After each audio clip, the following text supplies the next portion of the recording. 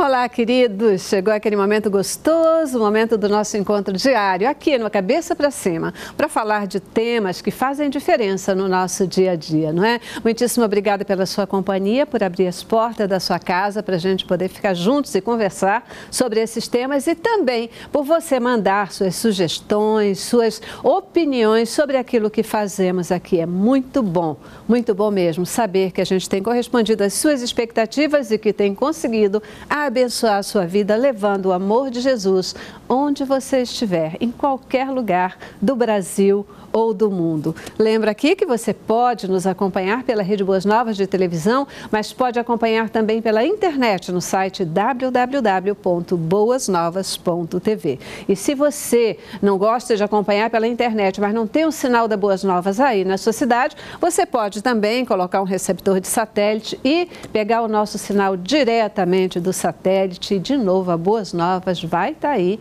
presente com você. No nosso site você encontra todas as informações necessárias para essa recepção de satélite. Se precisar de ajuda, manda uma mensagem para a gente que a gente vai te ajudar. Vai colocar alguém para orientar você e te dar suporte para que você possa jamais perder a nossa programação. Mais uma vez, muitíssimo obrigada pela sua companhia e o nosso agradecimento especial para você, semeador de boas novas, que tem tido a visão de semear no reino de Deus, semear em terra fértil. E tem visto que aqui a Boas Novas é uma terra fértil que leva o amor de Jesus, leva as boas novas de Cristo a toda criatura, que é uma grande missionária que chega onde você não pode chegar muitas vezes. E a gente sabe disso, né? Às vezes a gente pode ir ao campo missionário.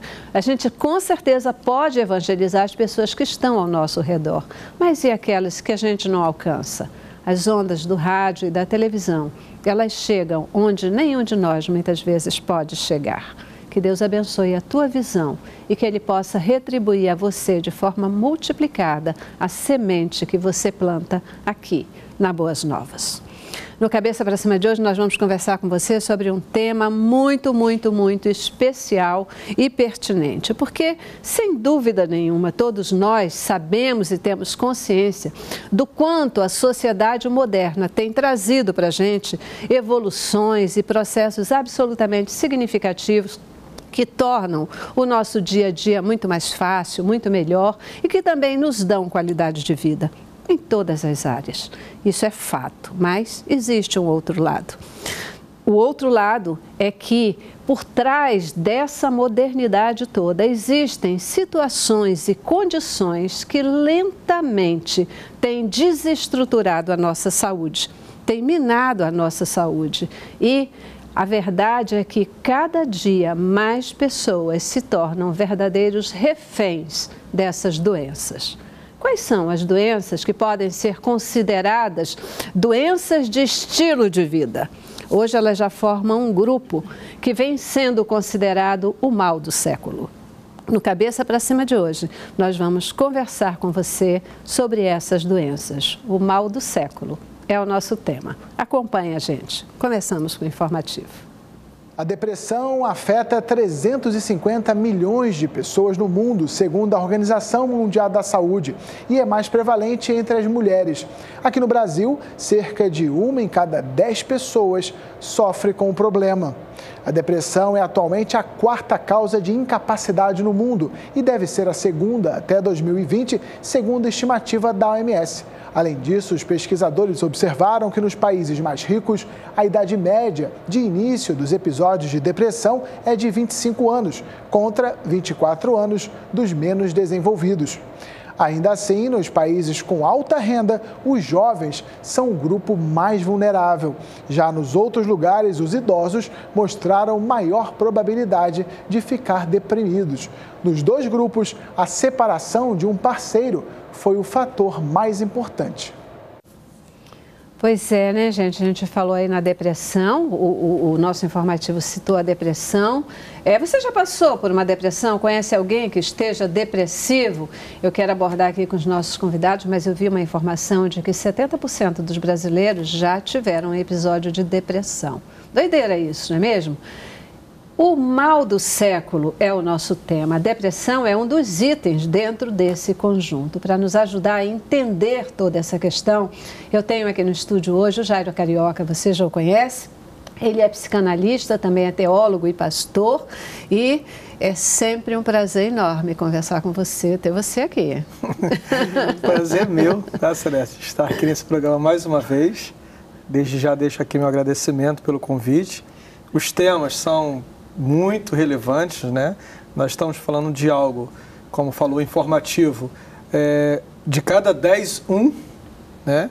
E já a estimativa da Organização Mundial de Saúde, que até 2020, 2030, de cada 5, um.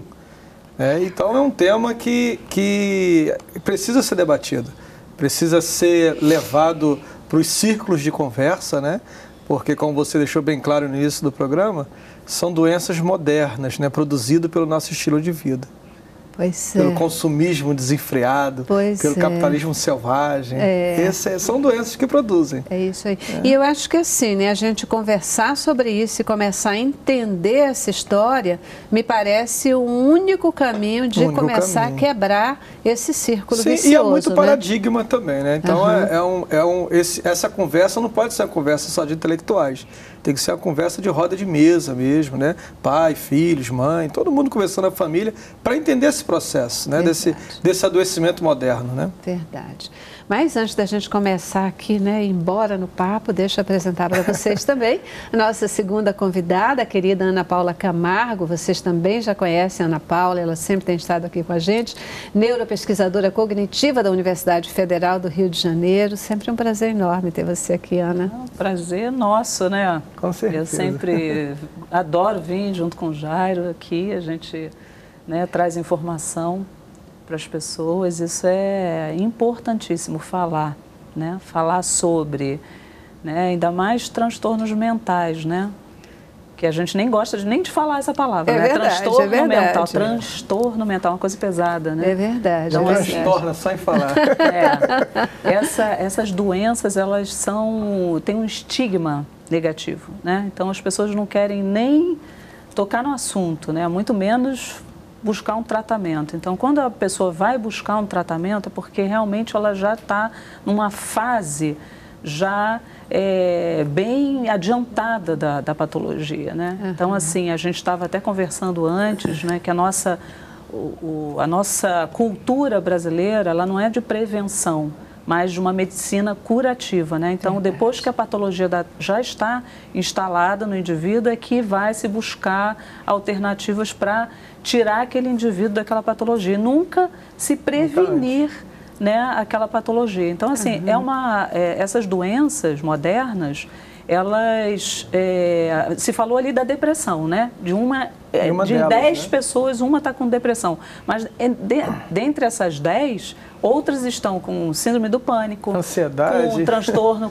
compulsivo é, por alimentos, outro por, por sexo, outros estão usuários de drogas, de álcool. Então você vai ver que entre esses 10 indivíduos, não é um que está doente e os outros nove saudáveis, né? Uhum. Nós temos uma sociedade em que há uma doença coletiva e a doença coletiva é o, a forma como se está vivendo hoje não é uma forma positiva para o homem. Então a gente vê que há é, índices e pesquisas do homem do passado e o homem do presente. Homens do passado tinham muito menos depressão. Obviamente, existia depressão, mas não tinha o, a depressão como hoje ela existe, uhum, né? Então, uhum. tem uma pesquisa americana que indivíduos que participaram da Primeira e da Segunda Guerra, que se espera que esse indivíduo tenha uma depressão terrível, né? até pelo acontecimento todo da vivência dele muito pesada.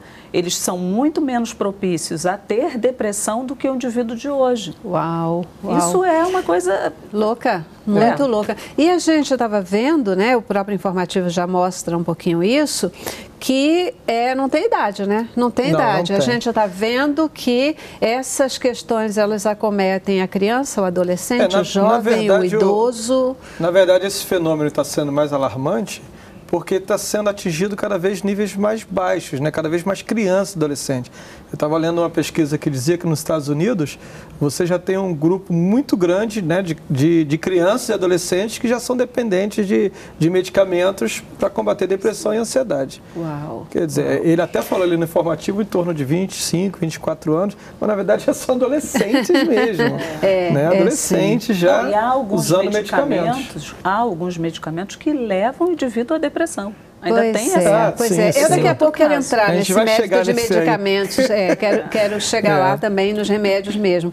Agora, gente, assim, né? A gente está falando doenças da modernidade, doenças da, de estilo de vida, né? É, é, Hoje a gente fala, né? As pessoas, a- o tempo de vida ele está aumentado, as pessoas estão vivendo mais, Sim, sim. porque ah, existem outros recursos que garantem uma longevidade e a gente espera sempre que a longevidade ela venha associada à qualidade de Sim, vida, porque sim. eu pelo menos eu, eu só quero viver muito se eu tiver saúde.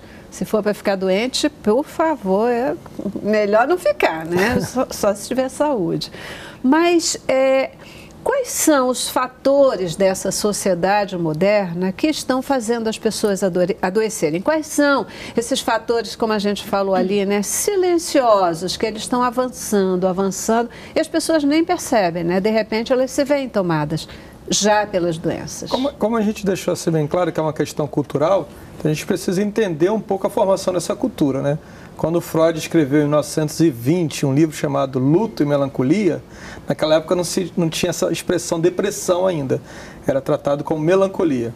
Né? Freud ele, ele pontuava que o luto era a perda de algo ou de alguém, enquanto que a melancolia era a perda de si mesmo.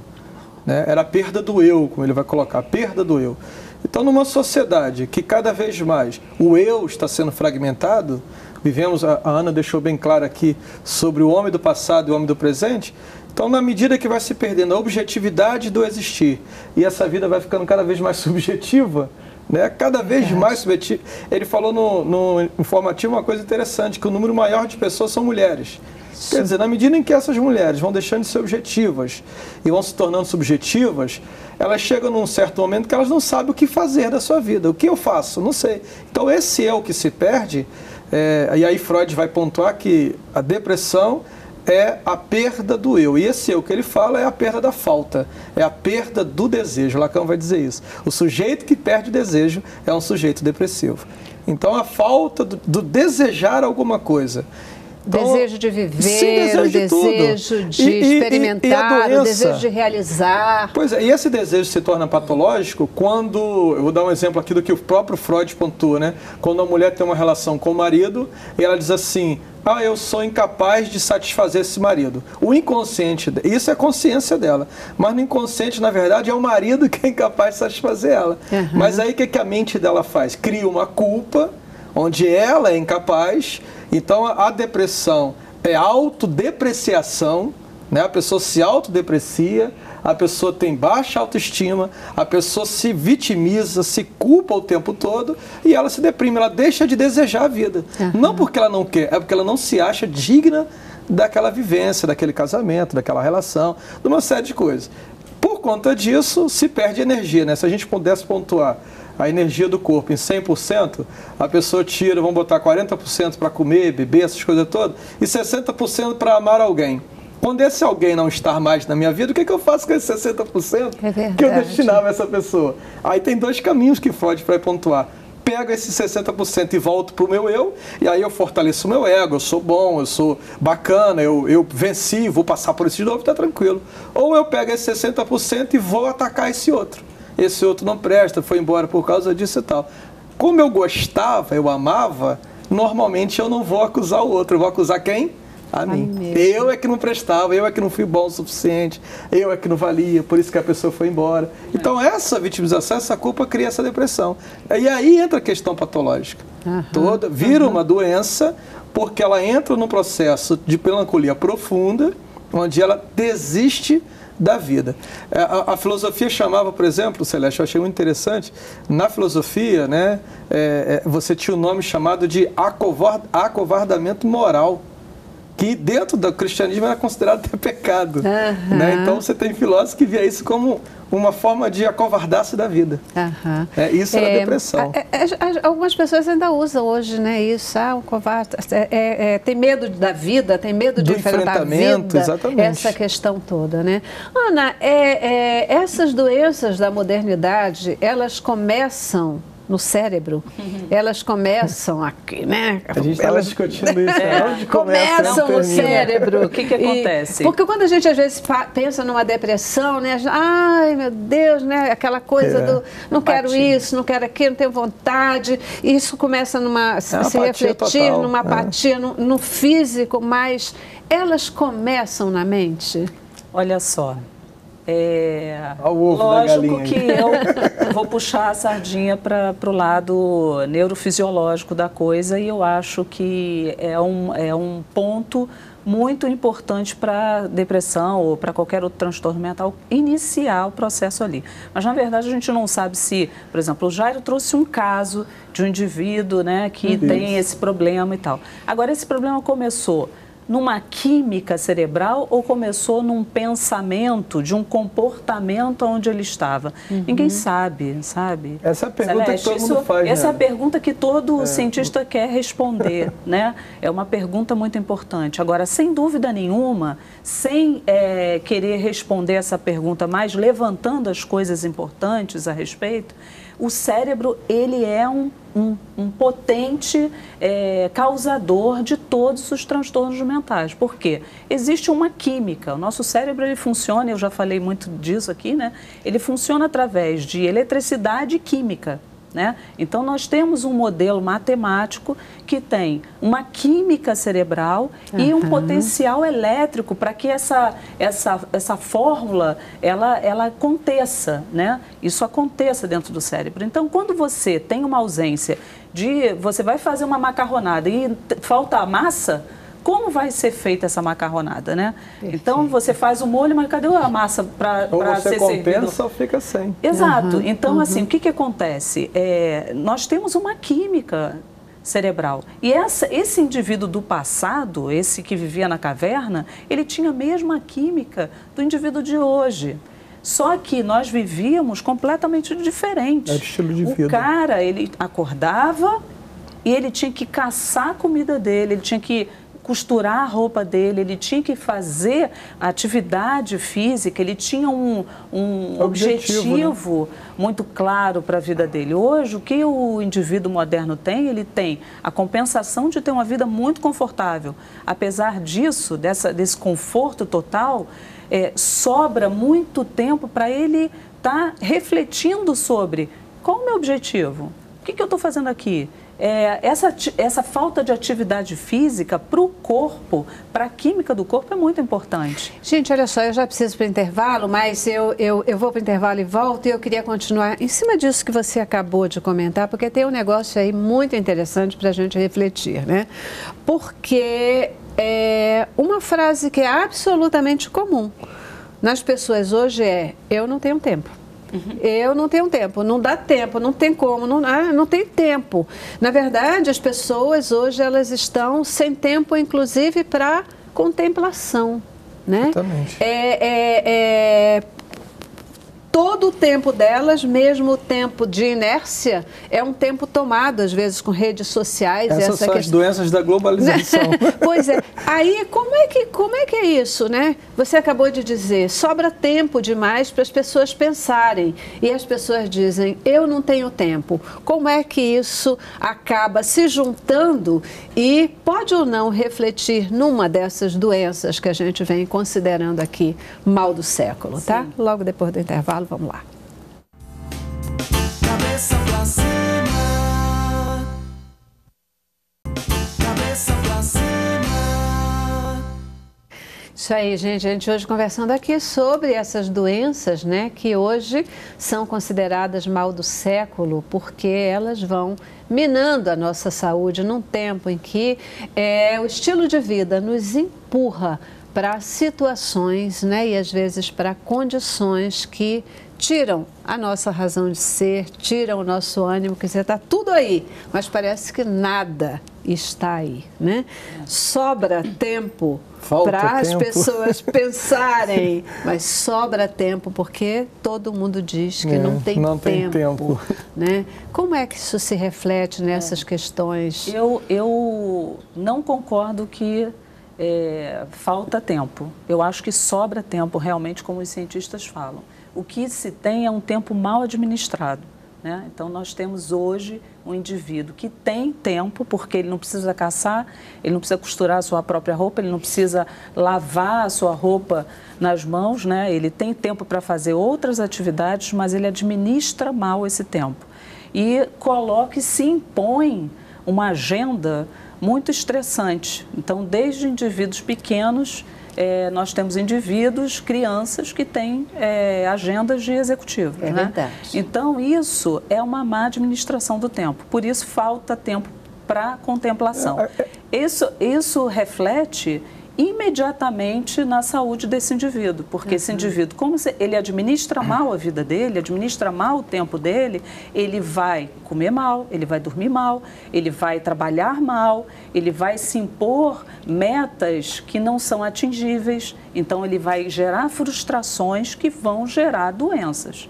Né? Então, vão gerar é, todas essas frustrações, essas é, tristezas, a gente estava falando sobre a tristeza, e, e, inclusive é um ponto importante a gente falar sobre isso, mas todas essas, essas é, condições humanas que deveriam levar ele para um, uma, uma vida positiva, leva para uma vida negativa, porque uhum. ele não consegue é, lidar com, enfrentar essa, essa convivência de forma positiva. Ele faz de forma negativa mesmo. Então, ele está sempre reclamando pela falta de tempo. Mas isso não é uma verdade. Se a gente for buscar o indivíduo antigo, a gente vai ver que o indivíduo antigo ele, ele estava sobrecarregado, fugindo é, de uma armadilha, de, de é, pássaros, de, de, das armadilhas. foi para a pré-história. Né? É, verdade, é verdade. O nosso cérebro é, é, é desse homem da caverna. É uhum. Por que, que a mulher ela é mais sujeita à depressão do que o homem. E também, assim, a gente está falando de depressão, mas vamos elencar de novo aqui é, esse conjunto de doenças que vem sendo consideradas mal do século, porque aí eu queria, a partir disso, a gente ver São as as, sociais, as, as né? chamadas né? doenças sociais. Que... A, a psicanálise, quando ela pontua, como eu falei que Freud vai pontuar a melancolia e tal, se pensava muito em termos de mulher. Uhum. Né? Mas a, a, cultura de Freud não é a nossa cultura de hoje. Né? Se a gente fosse fazer uma releitura do livro Luta e Melancolia, hoje seria Luta e Depressão. Uhum. Não seria mais a melancolia, até porque o próprio termo melancólico era um termo poético, romântico, né? muito presente na literatura. Uhum. E a depressão não, ela surge a partir da psiquiatria alemã, já voltada para a questão da medicina mesmo, é, uma, é um termo técnico. Uhum. É uma patologia. Então, é uma patologia. Então, como é que se pensa? Na verdade, há vários pensamentos sobre esse adoecimento, tá, Celeste? É, é é, da mulher, né? É, não, do adoecimento em si, da depressão das doenças fóbicas. Alguns, como você já levantou a bandeira aqui, né, a bola aqui para a gente fazer esse vôlei, alguns vão colocar como um surgimento da, do soma, né, do corpo, outros vão colocar como adoecimento da psique. Eu, dentro da minha posição psicanalista, defendo que o soma é o resultado da psique, né? A Ana falou muito bem das energias, na psicanálise chamamos de catexias, a libido, né? são, são energias criadas pela psique que vai fazer com que o sujeito se, se movimente. Uhum. Né? Então, a, a, a, depressão ela é vista pela psicanálise como uma doença cultural. Quando você tem uma cultura que estabelece né, é, o sujeito fazer várias coisas ao mesmo tempo. Né? Antes, as nossas preocupações eram locais. Hoje eu me preocupo com a política da Argentina, hoje eu me preocupo com a economia da China. Quer dizer, esse sujeito, é claro, tem, tem, uma preocupação. Com, a, com, é, com terrorismo, é, né? Com terrorismo. Então você tem uma preocupação. Isso. Você não é mais local. É, Esse cara estava é. falando do sujeito que ia caçar ele ia caçar para a tribo dele local. Hoje não, hoje você se preocupa com a economia global, a globalização. Uhum. Junto com isso, né, você tem a questão da, do, no nosso estilo de vida, né? aqui no Rio de Janeiro, por exemplo, é impossível você não se estressar com, com o caos do trânsito. Né? Uhum. Você tem a violência, Quer dizer, como é que não, você... Você tem, você tem vários tem fatores todo estilo de vão... vida. Você... É, agora é preciso pensar, né, a gente estava até conversando sobre isso, É preciso pensar também que algumas doenças têm a ver com fatores genéticos. Sim. É preciso pensar também que algumas doenças são desencadeadas, são sintomas desencadeados por outros adoecimentos, né? A depressão, no caso da mulher, é mais suscetível porque a, a, vamos pensar assim que é um corpo mais fragilizado, né? Uhum. Então você tem o parto, que o homem não tem parto. Você tem, é, minha filha estava falando para mim essa semana de uma coisa que eu falei com ela, eu sempre desconfiei disso, que a mulher quando fica grávida, por exemplo, de um menino, toda a genética dela é, é, é, é modificada. Eu não sabia disso. Foi uma pesquisa recente que foi lançada, que quando a mulher se engravida de, outra de uma menina, normal. Mas quando é um menino pelo fato da presença de uma série de, de coisas, do hormônio e tal, toda a genética da mulher é modificada. Aquele Yzinho pois lá é, vai isso mexer com a gente inteirinha. Bagunça. Então a hum. mulher vai ter desejos que não teve, vai ter alergias que não teve, vai ter uma série de coisas para o resto da vida que foi modificado por causa de uma gravidez. Então o que acontece? O homem não tem isso. A questão da tireoide, que muitas mulheres têm problema de tireoide, isso mexe com o humor, causa depressão, inclusive. Essas cirurgias que estão sendo feitas hoje, aí, que é questões de estéticas, principalmente a cirurgia bariátrica, ela retira uma, uma parte muito grande do estômago, da onde também vai causar a, a, ausência de uma vitamina do complexo B12, que é a tiamina, que causa depressão. Normalmente, as pessoas que fazem a cirurgia são encaminhadas para um, um terapeuta, uhum, exatamente por uhum. causa disso. Então, são vários fatores que vão causar. Tirando esses fatores de lado, os fatores físicos, biológicos de lado, nós vamos para os fatores emocionais. Então, os fatores emocionais é o estilo de vida capitalista, é o estilo de vida onde o envelhecer é proibido. Né? Você tem hoje que o envelhecimento é proibido. Então, o sujeito ele gasta fortunas com, com, com os produtos da, cosméticos, né? Para quê? Para não envelhecer. Mas isso é um fato. E ele vai uhum. ficar triste porque mesmo com aquela fortuna toda, vai aparecer uma ruga aqui, outra ali, plásticas e tal. Então, quando o sujeito ele não consegue lidar com esse enfrentamento da vida, que envelhecer é natural, quando ele não consegue lidar. Descobrir a beleza que do envelhecer. Per... Pois é, né? que as perdas ao longo da vida é natural. Quando ele não consegue lidar com luto, porque a gente vai perdendo várias coisas ao longo da nossa vida. Quando e vai ganhando que... outras. Sim. Gente, é um, é um é, olhar, claro, é um né? uma forma uma de olhar. Isso. Né? Quando a gente não consegue lidar com essa família que já procura um jardim de infância para uma criança, já pensando no vestibular, né? É, você falou da agenda, eu me lembrei de, um, de, uma escola que a criança no jardim de infância já tinha inglês, espanhol, uma série de coisas que para que, que ela vai querer aquilo? Então, essa, esse estilo de vida, se não adoecer o sujeito, esse sujeito vai aplaudir ele. É, mas olha só, tem um livro que eu adoro esse livro, que inclusive se o telespectador quiser comprar, é um livro interessante, fala sobre Alzheimer.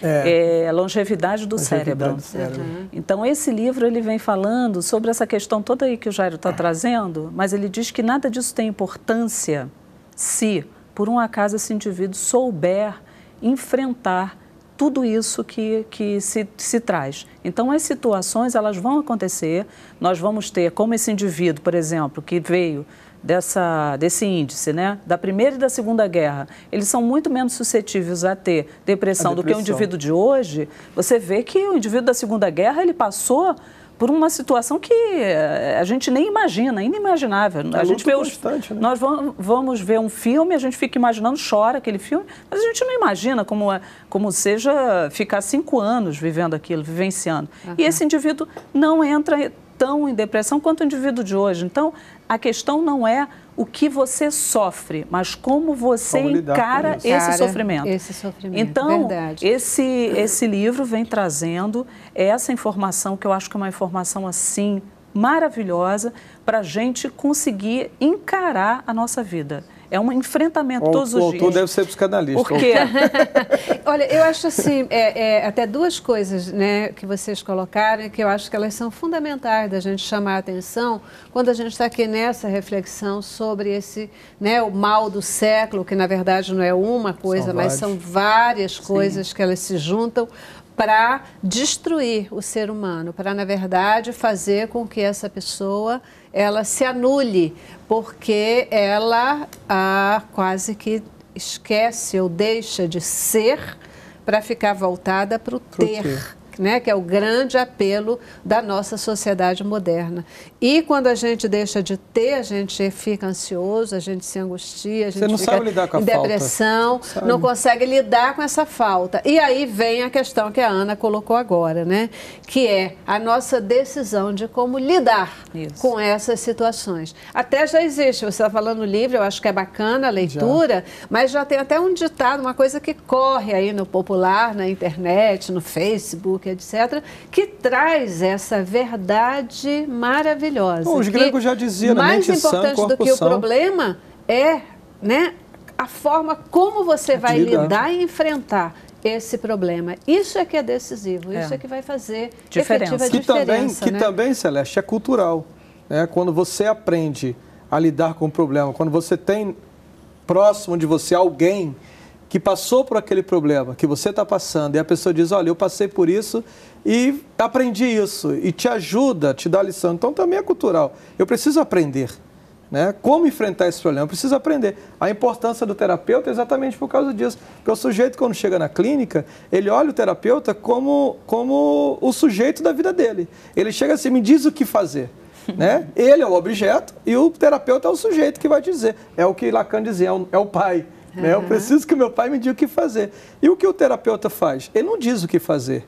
No discurso da terapia, o sujeito que chega como objeto, ele aprende que ele é que precisa tomar a decisão. Aliás, muita gente reclama Sim. dos terapeutas Por que não exatamente por causa É. disso, né? Tem assim, uma- eu pago o cara para ir lá para ele querer que eu diga tudo o que, é que eu tenho que Tem até fazer, um- como é uma- que pode? Eu espero que ele sátira. diga e ele não Tem fala até uma nada. sátira de um, de um ana- analisando, né? Que ele chega e fala assim, olha, eu estou cansado de chegar aqui, você não me dizer nada, eu falar, eu falar, e você perguntar o que, que eu sinto com isso. Eu quero que você diga alguma coisa. O terapeuta, tá, e o que você se sente com isso? Porque não é, é. é a função, como a Ana deixou bem claro, do sujeito se descobrir. Se a depressão é exatamente o esquecimento do eu, então em algum momento da minha vida eu me perdi. Eu preciso me achar. Eu preciso me encontrar. Agora, eu não faço isso sozinho. Eu não consigo fazer isso sozinho. Eu preciso de alguém que me auxilie. Daí que a palavra terapia é exatamente o que? Aquele que escuta a alma. Eu preciso de alguém que escute a minha alma. Lindo isso, E né? a depressão, Freud dizia que é uma doença da alma. Freud dizia isso, depressão é uma doença da alma. Em algum momento a sua alma se fragmentou. É. Você precisa de alguém que lhe pegue pela mão, faça aquilo que o Ovídio fez com Dante Alighieri, né? Vamos andar pelo purgatório junto, vamos andar pelo inferno até a gente chegar no céu. É então precisa de alguém que faça isso. Muitas vezes as pessoas acham que as doenças mentais elas são menos significativas ou menos é, impactantes ou preocupantes do que, por exemplo, as doenças físicas, né? Sim. É, dão menos importância para uma questão mental do que para o uma questão também, né? física, né? É, Sim. isso é um fato, isso é uma Sim, realidade. A do- Assim, a doen- o fato, a doença mental. É, é, eu não estou falando aqui necessariamente da loucura e tal, né? Mas eu estou falando dessa questão mesmo de uma depressão, de uma ansiedade, É. daquelas coisas que vão perturbando a cabeça da gente. Elas merecem. É, é difícil até fazer a pergunta, né? Mas assim, Uma elas são atenção, menos né? importantes do que as doenças físicas. A gente precisa, é, pode postergar mais o cuidado, a atenção, a busca de cura dessa doença da mente do que de uma doença física. Eu vou para o intervalo e logo depois vocês respondem. Tá legal? Vamos lá. Cabeça pra cima.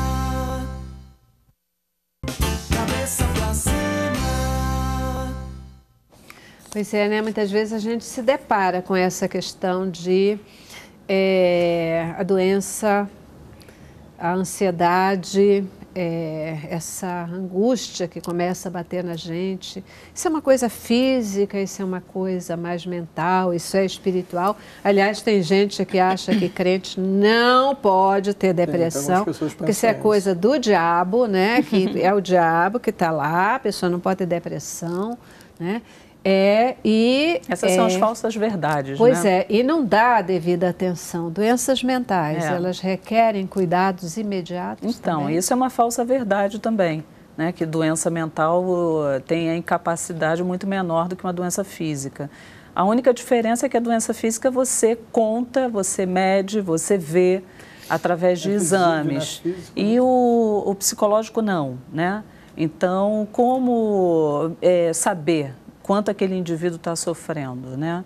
O quanto, né? Porque uma doença, alguma coisa que pode abater o Jairo, pode não me abater, né? Então, assim, a- a- o, o fato de uma perda, por exemplo, o, o nosso nosso início do programa, né, falou que a principal causa de depressão é a separação. Separação. Pode ser que a separação seja um desastre para determinadas pessoas e outras não, Um outras conseguem eh, se superar depois de uma separação. Então, assim, eh, a- o problema da- do transtorno mental é esse, porque você não consegue medir o quanto vai ser des- eh, desastroso na vida de alguém aquele aquela doença, né? então, por isso há esse estigma grande, inclusive de eh, o fator espiritual, está sendo levado em consideração. A gente tem uma história aí do transtorno mental muito negativa, né?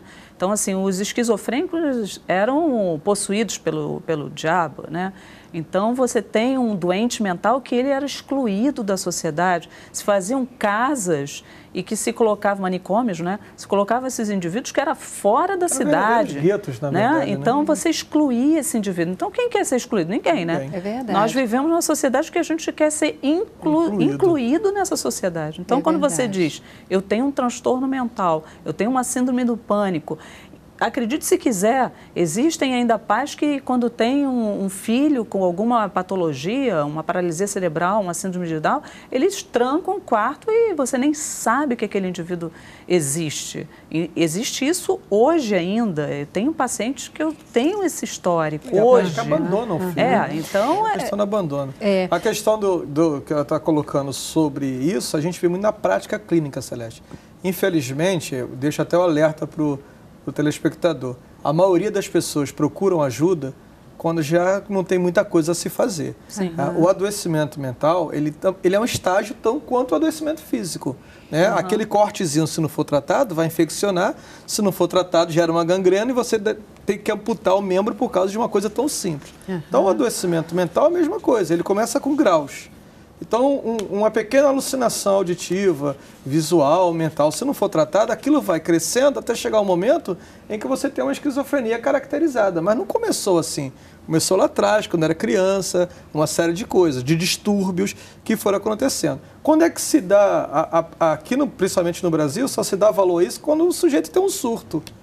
Então, muitas vezes, eu até falo com meus pacientes que muitas vezes o surto é benéfico nesse sentido, porque só assim a família deu atenção. É verdade, é Só verdade. se a família E muitas atenção. vezes isso, né? Você tem uma angústia, você tem uma ansiedade, você tem uma questão que ela é mais é, é, íntima sua e que Sim. você não trata, você não trabalha isso. E daqui a pouco isso, Isso vira é uma outra patologia. Somatiza, né? Somatiza. Somatiza. Ah. Isso pode virar uma alergia, pode virar uma erupção cutânea, pode virar uma, é, é, é, às vezes, uma questão mais cardíaca, Celeste, as o- o- síndromes. O, psicanalista francês Jacques Lacan, ele dizia que doenças são palavras que não foram ditas. É isso Então, na aí. medida que eu engulo as palavras, aquilo vai sair. Aham. Como vai sair? A gente estava até conversando sobre o deslocamento da doença, né? As pessoas precisam entender que a doença se desloca. Muitas vezes aquilo que você acha que é doença não é doença, é sintoma. O adoecimento, na verdade, ele é psíquico em alguns casos. É. Então, o, o- a, a gente ainda vai entrar nessa parte do- da questão medicamentosa, está se tratando o sintoma e esquecendo a doença. Então, muito verdade. adoecimento do corpo nada mais é do que uma somatização de um adoecimento psíquico. Por isso que os gregos diziam mente sã, corpo, Corpo são. É Como nós temos uma política brasileira, né? Isso é muito do Brasil, até por conta de uma cópia americana. A gente estava falando dessa questão da, da ideologia americana, né? A, máxima americana é para cada deprimido um comprimido. Falando em para cada deprimido um comprimido, e para a gente poder entrar em formas de tratamento dessa questão toda forma- do que a gente está falando, vamos ver um vídeo que a Vamos. produção separou aí para a gente. Ele é bastante interessante, dá para dar uma relaxadinha. Roda o vídeo. Aos 30 anos, você tem uma depressãozinha, uma tristeza meio persistente. Prescreve-se fluoxetina. A fluoxetina dificulta o seu sono. Então prescreve-se clonazepam, o rivotril da vida. O clonazepam o deixa meio bobo ao acordar e reduz sua memória. Volta ao doutor. Ele nota que você aumentou de peso. Então ele prescreve sibutramina. A sibutramina o faz perder uns quilinhos, mas lhe dá uma taquicardia incômoda. Novo retorno ao doutor. Além da batedeira no coração, ele nota que você também está com pressão alta. Então prescreve-lhe losartana e atenolol, este último para reduzir a palpitação cardíaca. Você já está com 35 anos e toma fluoxetina, clonazepam, sibutramina, losartana e atenolol. E aparentemente adequado, um polivitamínicos é prescrito. Como o doutor não entende nada de vitaminas e minerais, para garantir todas as vitaminas, recomenda um polivitamínico de A a Z que para muito pouca coisa serve. Aos 40 anos, você percebe que seus dentes estão apodrecendo e caindo. Cá entre nós, é o antidepressivo. Tome grana para gastar com o dentista. Nessa mesma época, outra constatação: sua memória está falhando mais que o habitual. Mais uma vez para o seu doutor, isso não é problema. Ginkgo biloba é prescrito. Nos exames de rotina, sua glicose está em 110 e seu colesterol em 220. No verso do receituário, o doutor prescreve metformina mais simvastatina. É para evitar diabetes e infarto, diz o médico. Aos 40 e poucos anos você já toma fluoxetina, clonazepam, sibutramina, losartana, atenolol, polivitamínico de A a Z, omeprazol, domperidona, laxante natural, sildenafil, vardenafil, lodenafil ou tadalafil, neusaldina ou neusa, como chamam, ginkgo biloba, metformina e simvastatina. Convenhamos, isso está muito longe de ser considerado saudável. Mil reais por mês e sem saúde. É, o que eu falei, que a gente estava conversando aqui, né? Para essa pessoa eu tenho o remédio do, do Tom Zé. Ao persistir os médicos, os sintomas devem ser consultados. Porque, né? Você tem noção, Celeste? Porque, que- olha, isso é uma realidade Não, você tem noção que grande, o Brasil, hein? É o uma Brasil é o de muita terceiro maior país consumidor de Rivotril. O Brasil é o terceiro país que mais consome Rivotril no mundo. E aí vocês, meus especialistas, o que é que vocês recomendam? Como enfrentar esse mal do século? O que, que a gente pode, deve fazer para começar a dar uma virada nessa história? Primeiro, eu acho que o mal do século não são essas patologias. Já de início, o mal do século é falta de amor. E eh, a questão da patologia, eu acho que há um diagnóstico errôneo nas pessoas. Né? A pessoa sente uma tristeza, estou deprimida. A pessoa tem uma ansiedade normal, ah, eu tenho uma síndrome do pânico. Então as pessoas precisam aprender a conviver com elas mesmas e aprender que tristeza é muito importante para o cérebro. Ansiedade é muito importante para o corpo. Então, todos esses sintomas que são ditos que são patologias são importantes para a nossa vivência.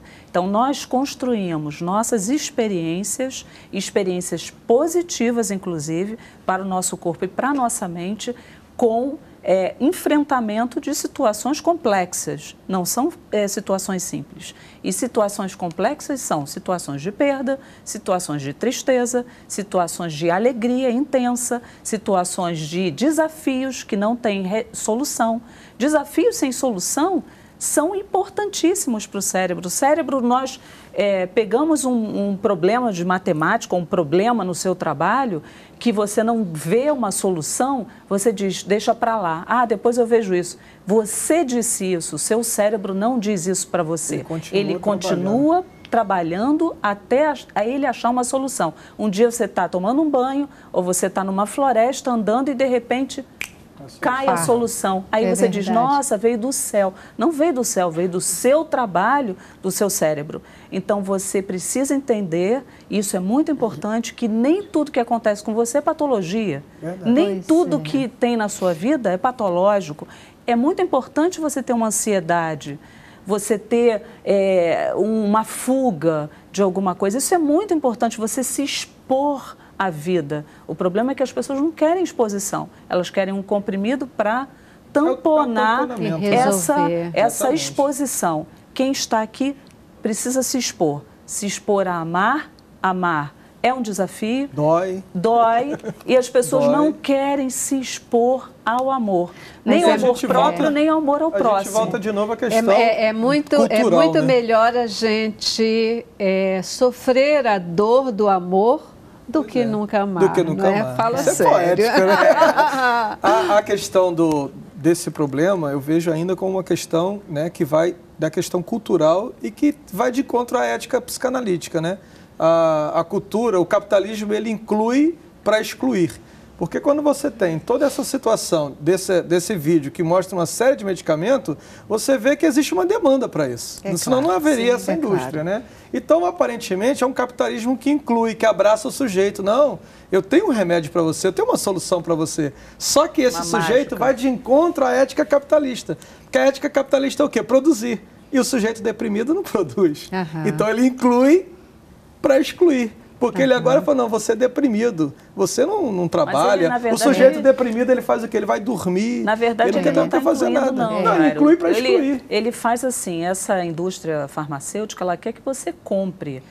Não, não, E não, não, não, não é. interessa se você É, depois... Mas é uma É coisa que paradoxo, leva a é outra, que paradoxo. leva a outra. Eu quero deixar como destaque, e aí eu vou provocar o meu psicanalista e pastor, né? Por isso que eu gosto que ali aparece o É, crédito de pastor psicanalista, porque assim, né? É a hora onde o deserto, ele é necessário para a gente se Sim, fortalecer. A gente estava né? discutindo isso, né? Quando Jesus fala assim, para uma, pra uma galera extremamente ansiosa, Jesus olha para eles e diz assim: Eu vou dar um remédio para vocês. Olhai os lírios do campo. O que Jesus estava falando para olhar os lírios do campo não era contemplação da beleza. Jesus estava falando de todo um processo que vai do nascer até o processo do finalizar. Porque a flor bonita, ela também vai murchar e vai cair. Então o que Jesus estava falando era da perenidade, era do tempo que passa. Então Jesus está dizendo assim: vivo agora. Porque a ansiedade, eu sempre gosto de falar essa frase, né? A ansiedade é excesso de futuro, depressão é excesso de passado. E o que você está fazendo com hoje? É isso aí. Né? Porque essa flor, se você não olhar ela hoje, amanhã ela não está lá, Celeste. Amanhã ela já foi. É, E eu não é. tive tempo para olhar a flor. Então Jesus está dizendo isso, arrume tempo. É. Veja a flor. É, é- é o, o Tagore, né, o filósofo, ele diz isso, né, que é preciso viver o momento Exatamente, presente, viva que agora. é o único que está em nossas Carpe mãos. diem, aproveite o dia. É, na verdade, o único em que a gente pode ser feliz. Pois é. Né? O único. Olha, eu já vou para o nosso último intervalo, infelizmente. Mas vou para o intervalo e a gente volta para considerações finais, tá bom? Vamos lá. Cabeça pra cima.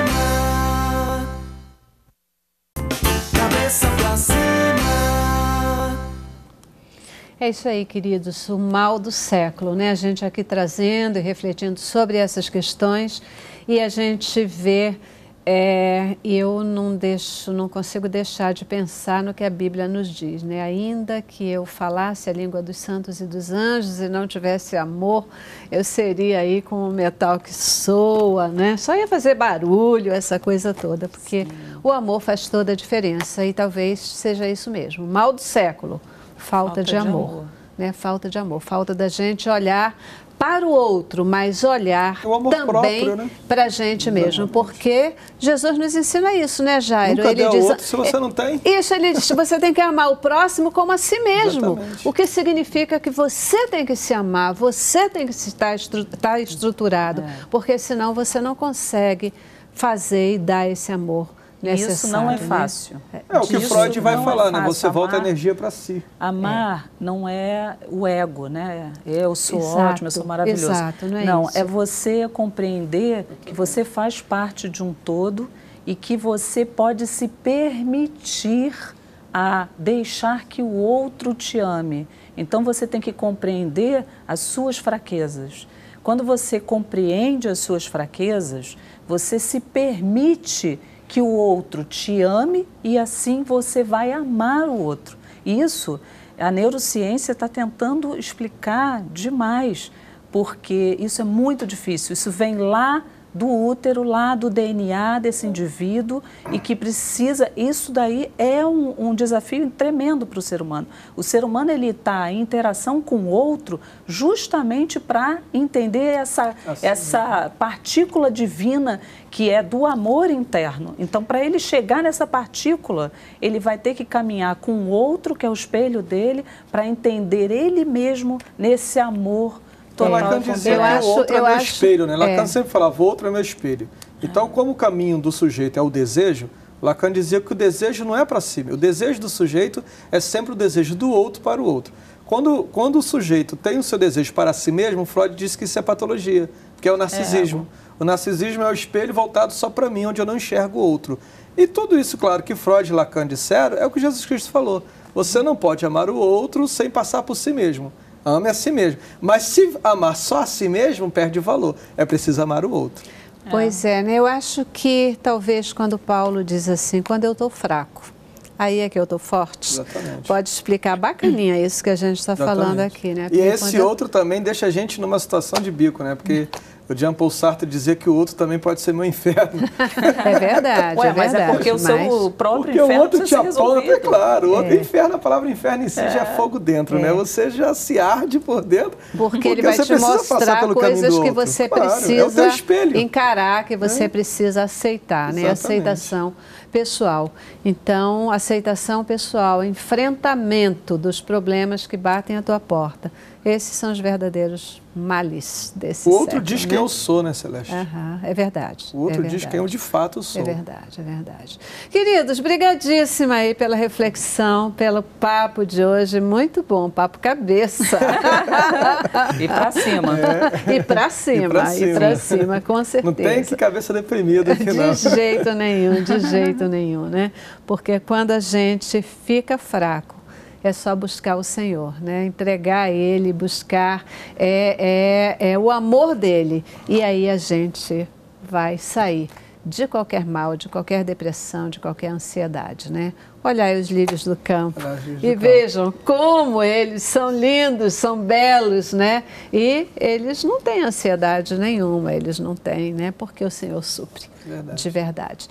Brigadíssima para vocês, tá bom? Obrigada a você também que está em casa, participou conosco. E a gente termina o programa com boa música, deixando você aí com a Dani Seabra, que canta pra gente, abençoando a nossa vida.